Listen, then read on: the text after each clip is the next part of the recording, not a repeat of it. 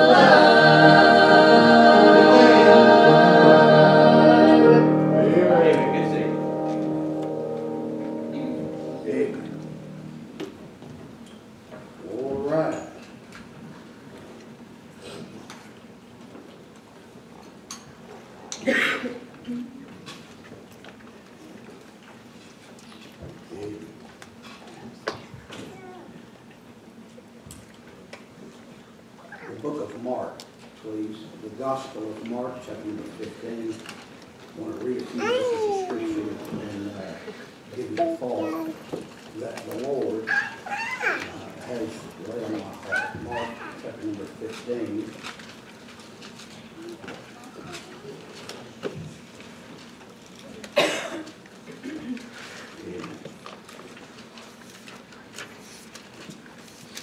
we're going to begin reading in verse number 15.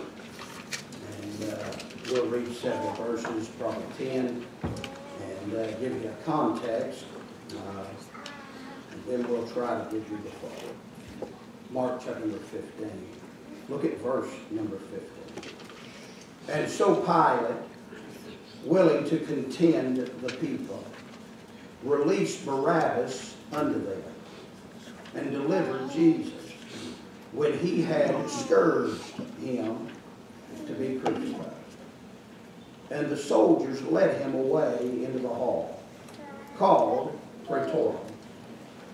And they called together the whole band, and they clothed him with purple, and platted a crown of thorns, and put it about his head, and began to salute him, Hail, King of the Jews.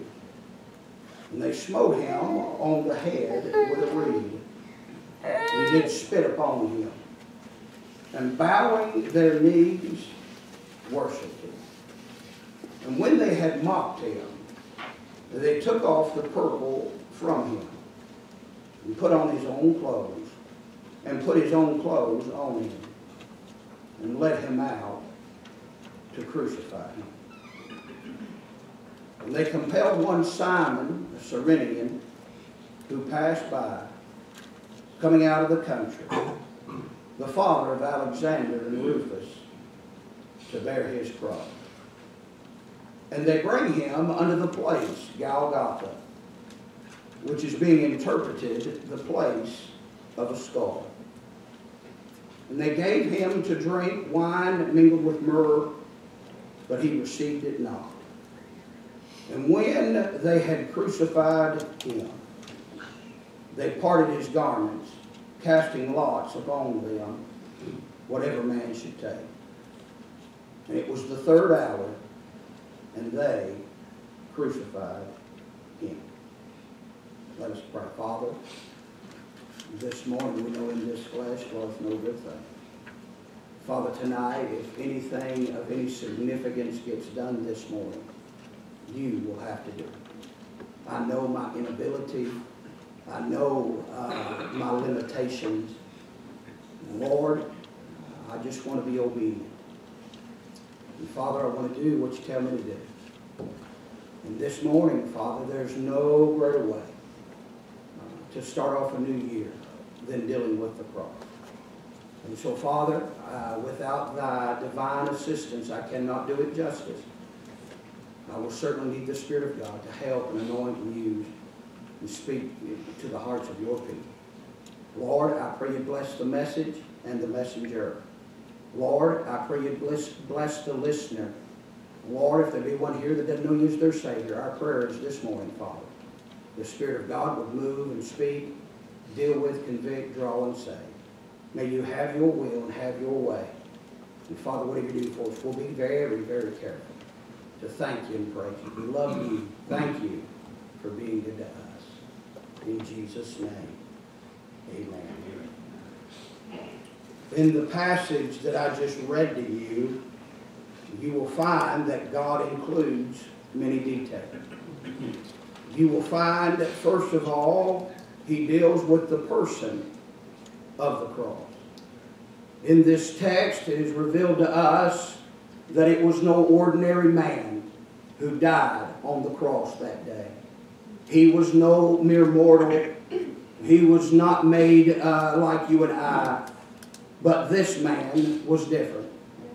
This man was God in the flesh. Right. You'll find this man when you study the text and you study your Bible that Jesus came supernaturally. He was born of a virgin uh, without a human father. You will find he grew up uh, spotless and sinless, never messed up once, never did wrong once, never sinned once. Right. You will find he led a supernatural existence and a supernatural ministry. You will find that Jesus did what no one else could do. You will find that he healed the blinded eyes. He unstopped the deaf ears. He made the lame to walk again. And he rose the dead back to life. Yeah, right. You will find the person of the cross. God did not send an angel, nor did he send an emissary, but God sent the very best that heaven had to offer in the person of the Lord Jesus Christ. R.G. Lee, when asked about who is Jesus, he said this Jesus Christ, Son of Man without sin, Son of God with power. He's literature, literature's loftiest idea, and he's philosophy's highest personality. He is criticism's most supreme problem. He is theology's fundamental doctrine and Christianity's cardinal necessity. He's heaven's bread for earth's hunger. He's heaven's water for earth's thirst. He's heaven's glory for earth's shame. He's heaven's grace for earth's guilt. He is heaven's hope for earth's despair. Heaven's love for earth's hate. Heaven's peace for earth's strife. Heaven's forgiveness for earth's sins. Heaven's life for earth's death. That, who, that is who Jesus Christ is. You will find he loved like no other. He forgave like no other. He operated like no other. You will find in the text the person of the cross. But secondly, you will also find the punishment of the cross. When you read this text, you will find that Jesus has been, uh, has been whipped with a cat of nine tails. You will find that a group of Roman soldiers has gathered together and they put a, a, a purple robe upon him and they begin to mock him. And uh, you'll, Right. begin, you'll find they begin to make fun of him. You will find in other texts and other gospels where they smote our Savior in the face. You will find not only did he endure a scourging, but he endured a beating like no other. Right. You will find the Bible says in Isaiah 53 that his visage, his face, was so marred more than that of any man. He was beaten beyond recognition, scourged with a cat of nine tails. Yeah. You will find that he is nailed through the hands and through the feet. And you will find a crown of thorns has been placed upon his head. You will find such punishment in the text. And you will find that he endured more than any man before. Crucifixion, one of the most painful ways to die. Right. It is a slow death. Amen. It is a death of agony and despair. It is a death of pain and sorrow. It is a slow death. Right. Amen. You will find, first of all, the person of the cross. But secondly, you will find the punishment of the cross. You will find he has been beaten and abused and finally crucified. Hung upon a cross, left to die as the world looks on and makes a sporting event out of it. It makes entertainment out of it. Right. You will find on the way up the hill to Calvary, the crowds have lined both sides, and people have come and began to pluck the beard out of his face as he stumbles upward with the cross. You will find they threw things and spit upon him. You will find they mocked him and made fun of him. And you will find as he headed toward Calvary's hill, he endured the punishment of the cross. That is a love that I cannot comprehend. That is a love that I do not understand. How Jesus Christ could love sinners that much that he would be willing to bear their punishment, bear their penalty for their sin, Amen. and he would go through all that he went through just to redeem us, Right. save us, have a relationship with us. And I don't understand why he would go through all of that. uh, the benefit that he received, the people that he received. Uh, there's many days I wonder if I was worth it. There's many days that I doubt uh, uh, that, that I know beyond a shadow of a doubt uh, that the price paid for me, uh, that Jesus got the bad end of the deal. Amen. You'll see the punishment. You'll find that Jesus is suffering and bleeding and dying for sinners. You will find that He is taking our place. Heaven's innocence for earth's guilt. Right. You will find he, know, he who knew no sin was made to become. Sure. Amen. That we might be made the righteousness of God in Him. Right. Yeah. And Jesus is bearing your shame and your sin, my shame and my sin to the cross of Calvary. He is not dying haphazardly. This is not plan B. This plan did not catch God off guard. Right. But from Genesis chapter number three in your Bible, you will find this was God, this was always God's plan. God said that the man would come, the seed would come, and uh, Satan would bruise his heel, and he would bruise the head of the of the serpent. Right. You'll find it's being fulfilled in our text. You'll find that Jesus must suffer, he must bleed, and he must die to, re- to redeem humanity. Right. Amen. And so you'll find when you'll study this text not only the person of the cross, you'll find the punishment of the cross. Number three, and this is where I want to get this morning. I want you to see the product of the cross. Do you realize there are everlasting eternal benefits reaped from this cross? Amen. Do you realize that God did not die in vain? But when Jesus dies upon the cross, the very gates of heaven have been opened. Right. And now the unworthy, the guilty, the sorry, the failure, the flop can now come in, Yeah. having been made righteous through the blood of Christ, Amen. and now may dwell in heaven for all of eternity Right. simply because they are trusting in what He did and not what they did. Amen. Right. This morning I am not interested in proclaiming my own goodness, for I have none. When I stand before God, at the one day when I draw my last breath, when I stand before Him, I will not proclaim my abilities or my accomplishments. I will not say I was a preacher or a pastor or a church member or uh, I sang in the choir or I gave sums of money. I will not claim my own goodness Right. because I realize that none of those things are enough to get me into heaven. Right.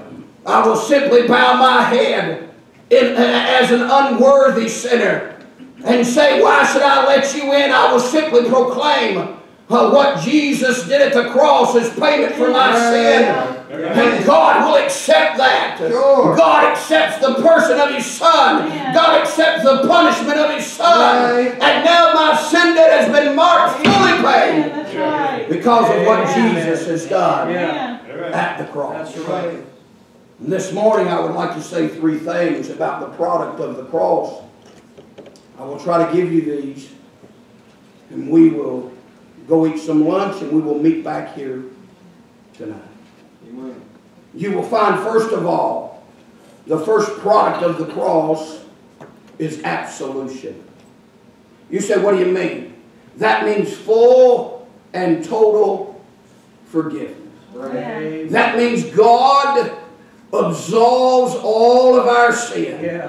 Yeah. in the blood that was shed at Calvary. Amen. They were singing about the blood just a moment ago.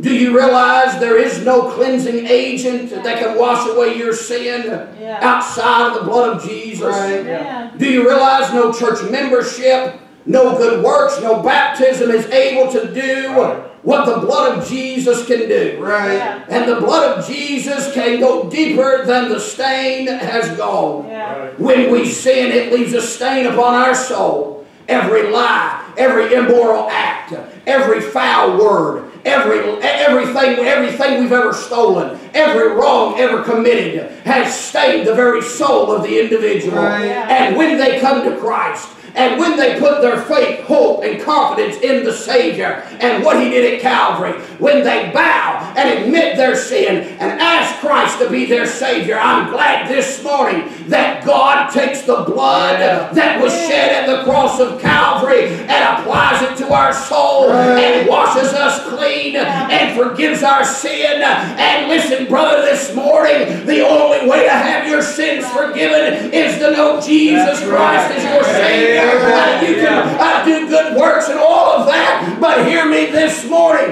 If there was any other way for you to make heaven your home, if there's any other way for you to get there on your own, then why would Jesus go through all that he went through? If there was some other way, I'll tell you why he went through all that he did. Because this morning there was no other way to redeem humanity. And when there was no other way, when there was no other hope, thank God Jesus stepped up and said, Father, I'll go. Yeah. I'll wash away their sins. I'll suffer in their place. I'll die for them that they might go free. And when I got saved, God absolved me of all wrongdoing, of all guilt, of all shame. Thank God this morning the product of the cross is complete, utter, and total forgiveness. Amen. Amen.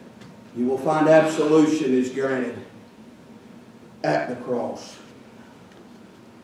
And this morning, there's not a man on the planet that can absolve your sins. Right. You can confess your sin to men. They do not have the authority, nor do they have power to forgive sins. Right. Mm, You can apologize and they can forgive, but that's not enough to wash away your sin this morning. Yeah. Right.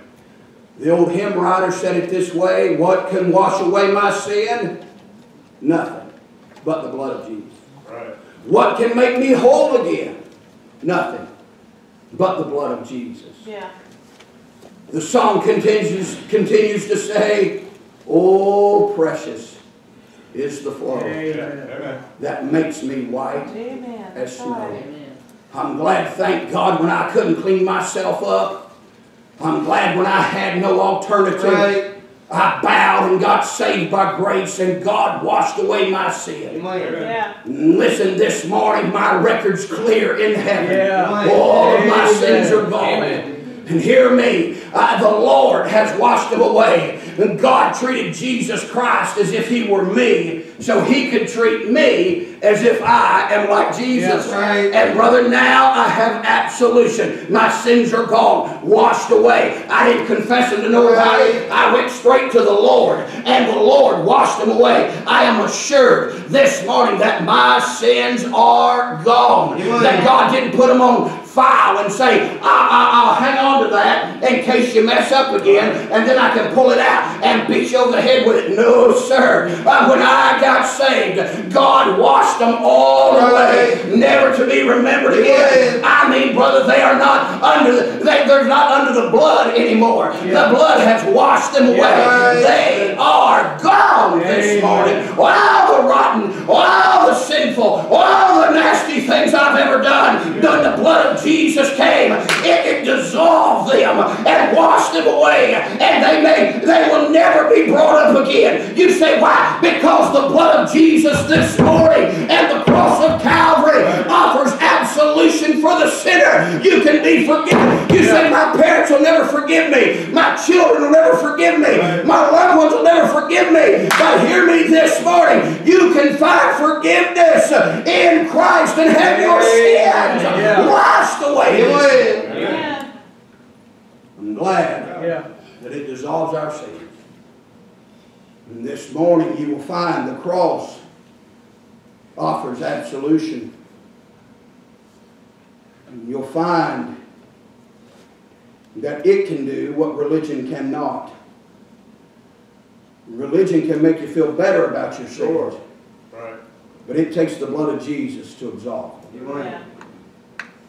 When I say, first of all, the product of the cross is absolution, but secondly, you will find the second product of the cross is access.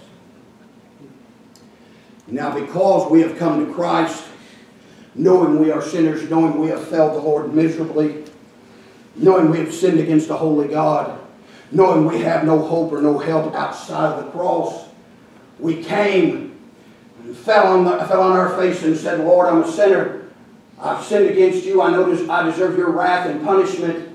But I also know that Jesus took it at the cross. Right. And Lord, I, I'm asking you to forgive my sins and put it on the account of Christ. And that at that point, God absolves our sin.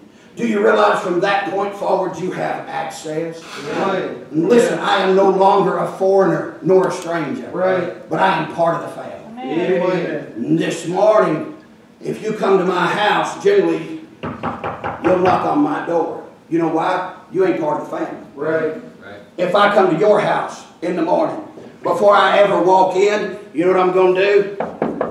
I'm going to knock on your door. You know why? I ain't part of the family. Right. Right. But hear me, when if I'm sitting at the house and my wife shows up, you know what she does? She just opens the door and comes on in. You know why? She's part of the family. Right. It gives her access that most people do not have. Right. If I'm in my office studying with my door shut, most people will will leave me alone, and if they do need something, they'll knock on my door. My wife doesn't do that. You know what my wife does? She just reaches and grabs the door handle and comes right on comes right on in. You know why? She's part of the family. Right. This morning I don't have to stand outside and, and, and knock on the door and ask the Lord to let me in. No, sir, I'm already part of the family. I have access to the holy God of heaven. I was talking to him uh, yesterday, and I was talking to him last night. I've been talking to him this morning. You say, why? Because I got access. Right. Uh, listen, I can pray anywhere, anytime, and know beyond a shadow of a doubt that the God of heaven hears me. You say, why? Because the product of the cross is it gives the dirty and the wicked and the filthy. Not only does it cleanse them and clean them up, it also gives them access. Right. Uh, listen, I'm glad when the troubles of life come my way, I've got access to the God of heaven. I've got access to someone Right. who can do something about it. Uh, hear me, I couldn't get a hold of Donald Trump if I wanted to. You say, well, I don't have access. Uh, you say, I'd like to talk to one of those professional athletes. I can't talk to them. You know why? I don't have access. But I promise you this morning, I've got something better. I can go to the very. Creator of this universe uh, anytime and have access and be ushered right into his Amen. presence. Amen. I got access to God Yeah. for every burden, difficulty, and heartache. I can run to my Father. Hear me. He ain't got call waiting. Right. Somebody calls you, say, hey, hang on a minute, somebody else is calling. God don't have call waiting. Right. I have unlimited access. God don't have business hours. Right. Well, God's open from 7 to 3 or 9 to 5. No. 24 hours a day. I have access. And God's not limited by time nor space. You say, well, uh, if I want to get a hold of, uh, get a hold of God, I got to come to the church. Not if you've been birthed into the family of God. Me, you can pray on in your car, you can pray in your living room. Yeah. I'm glad I can pray at church, but I ain't got to come all the way to church just to get access to God. I can pray in my bedroom, going down the road, uh, regardless of what's going on. I have access 24 hours a day, seven days a week, and the Lord can hear me. I can be ushered into His presence. The Bible says, "Come boldly before the throne of grace, that you may obtain help in a time of trouble." I'm glad when things get too busy for me, when things overwhelm me, I don't know which way to go or what to do. I'm glad I can bow my head, and all of heaven will be put into a silence as God leans over the throne and begins to listen to my cry. I'm glad, thank God, somehow, I way up yonder in the third heaven, uh, God's a sitting on His throne, and way down here, I'm stuck in this sinful flesh and on a sinful earth. Uh, but I'm glad somehow uh, God can hear and answer the prayers of His children because when we got the cross and when we got saved, we got access to God. Amen. Amen. I'm glad my sins are absolved, but I'm real glad I got access. Amen. I can talk to God of heaven anytime I want to. Yeah. And to be honest, there, you might have problems this morning. You might come to me and try to tell me your problems. And may I be honest, I'll do my best to help, but nine out of ten times I can't help you. Right. I may not have the answer that, you're, that you need, I may not have the resources available to help you.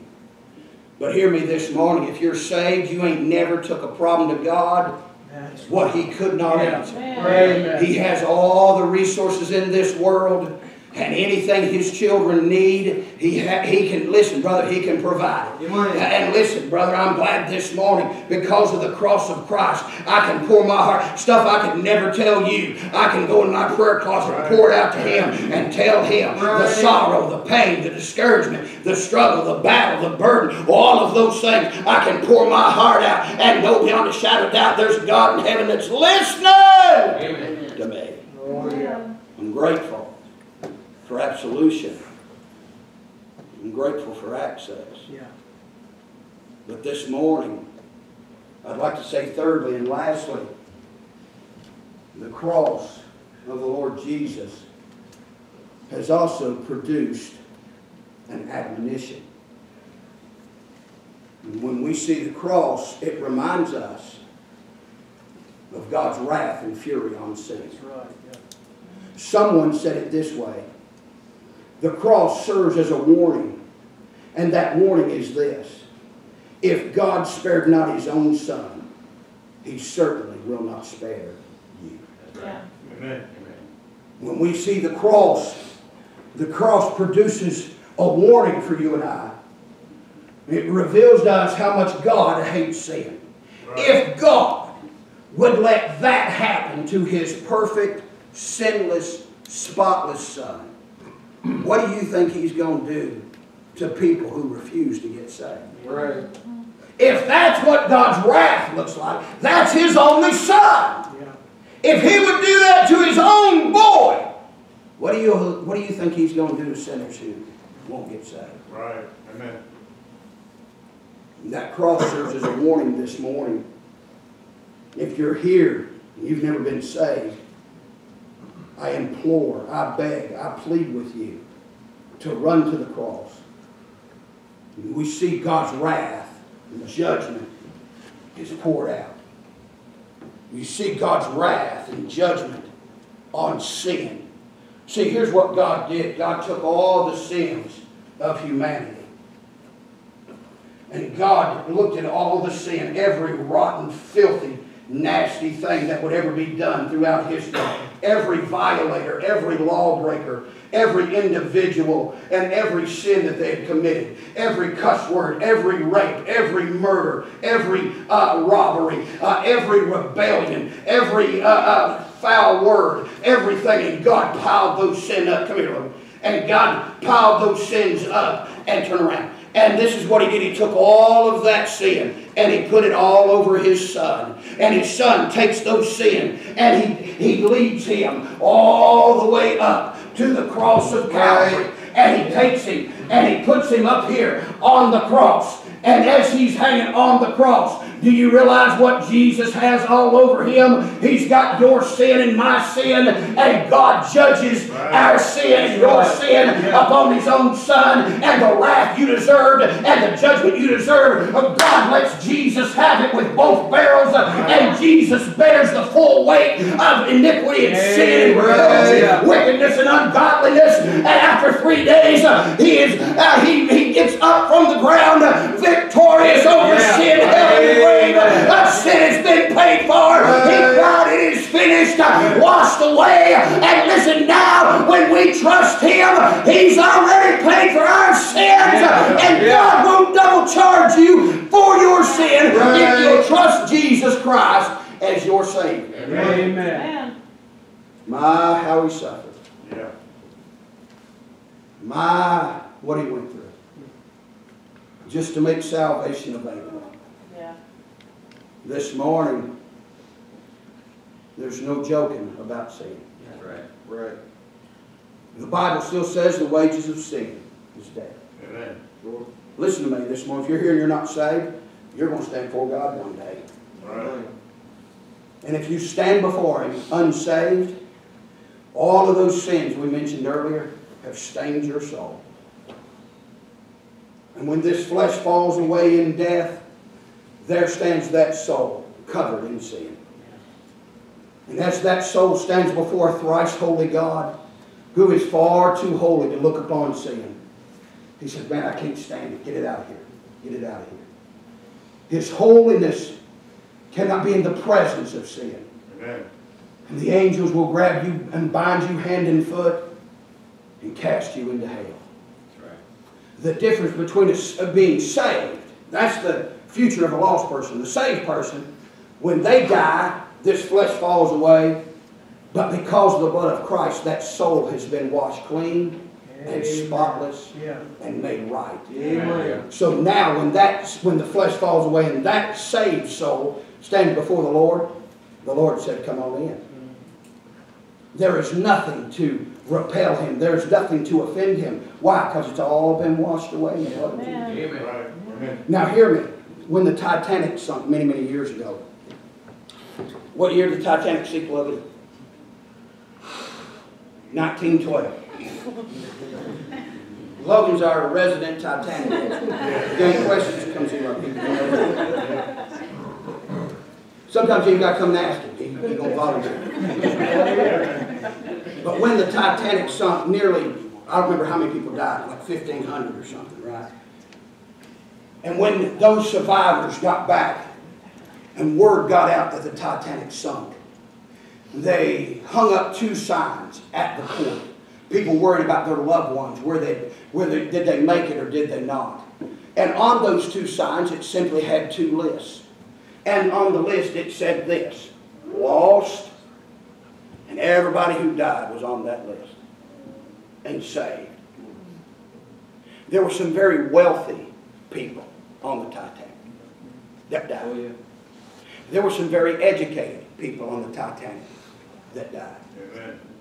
But when it was all said and done, there was only one list, lost or saved.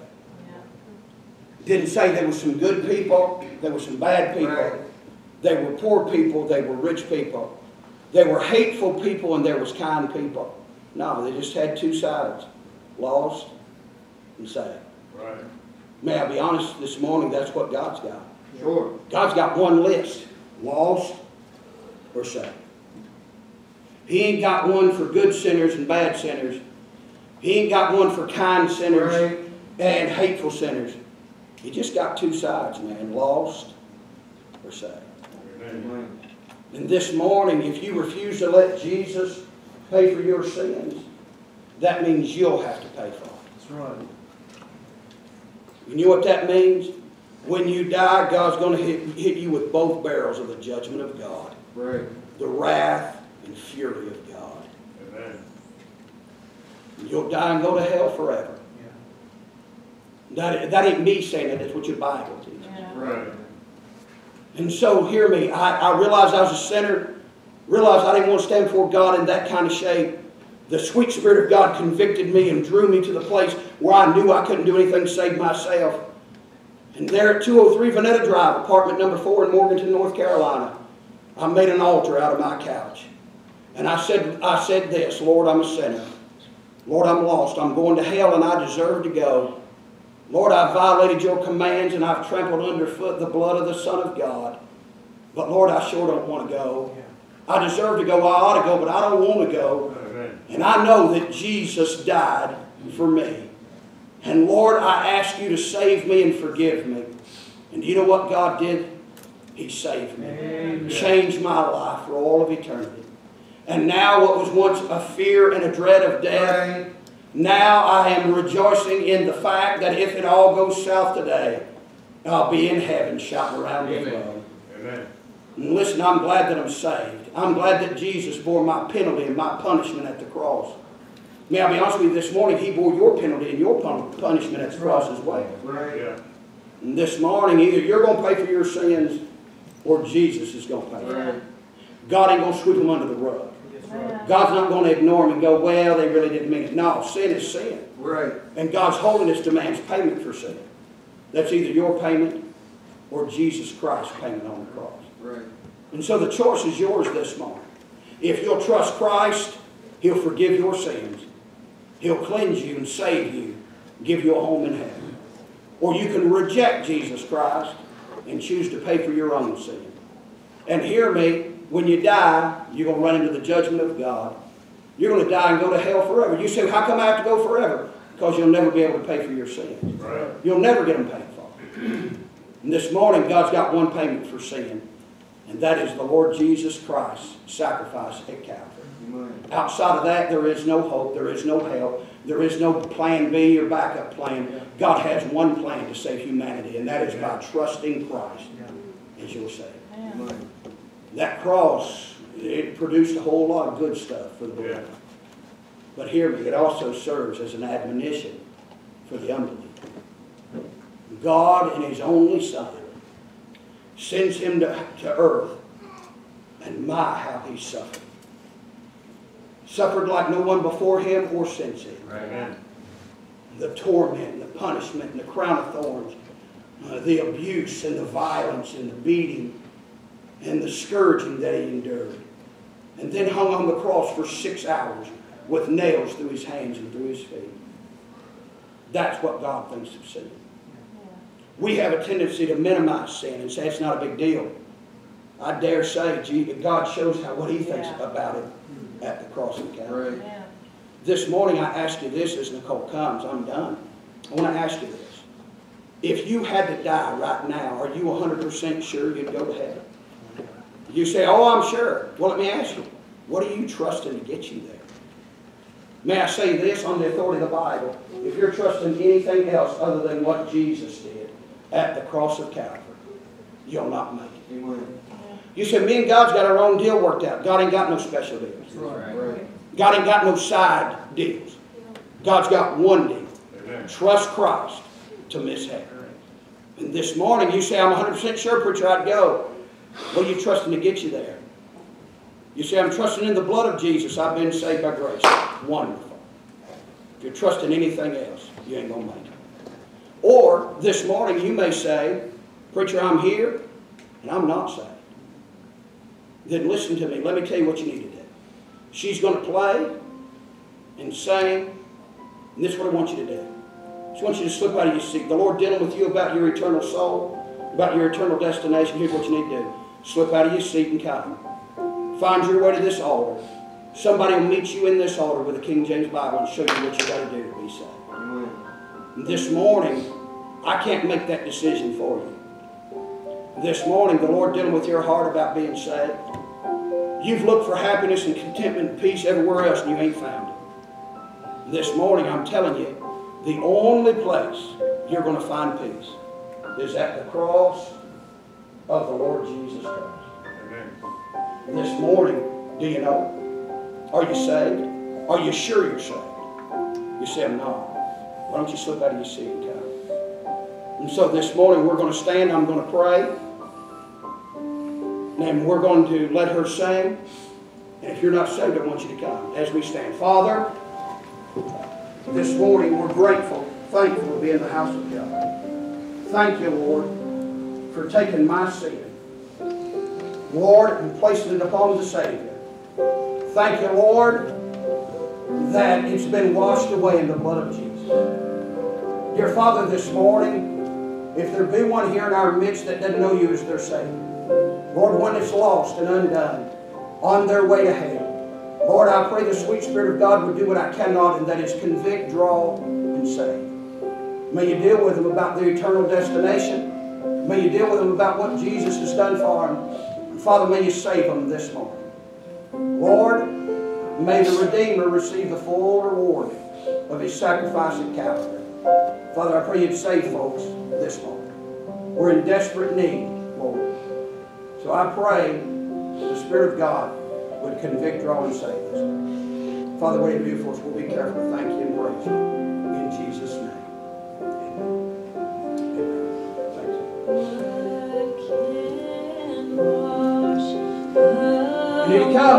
Come. Why don't you come? Do business with the Lord this morning. Are you saved? Are you ready to meet Him? If you're not, I'd, I'd, I wouldn't walk, I'd run to this altar and I'd ask God to save me.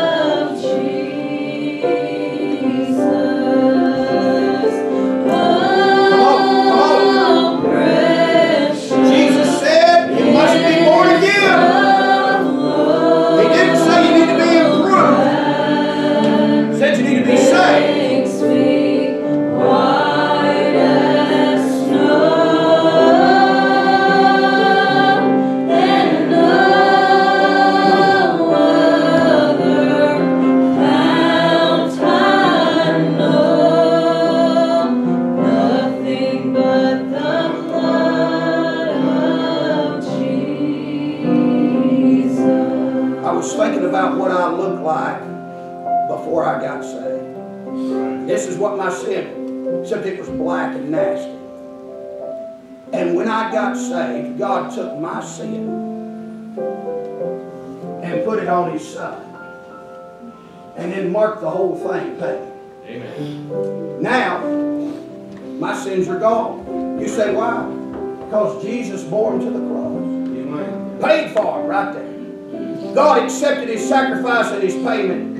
And now I bear them no more. This morning, if you're here and you're not saved, that's what you look like. You got sin all over you. Oh, we can't see it with the naked eye, with the natural eye. But spiritually, you got sin all over you. But if you'll come to an altar and trust Christ as your Savior, God will take every rotten sin you've ever committed, take all of them, not some, not most, but every one of them, and place them on His Son, and mark them, mark all your sins, paid in full. Amen. So here's what we're going to do. We're going to sing one more verse. Nobody moves. We're done. We're going to sing one more verse. Sing that first verse one more time. What can Are you ready? Are you saved?